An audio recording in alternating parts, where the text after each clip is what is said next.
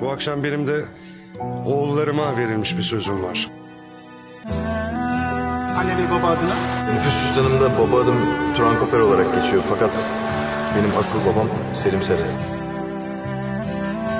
Herkes adına sana teşekkür etmek istiyorum.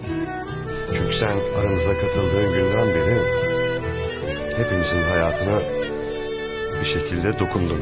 Ailelerimizden bir parça oldun. Yüzümü hiç kara çıkarmadın. Seninle gurur duyuyorum. Oğlum.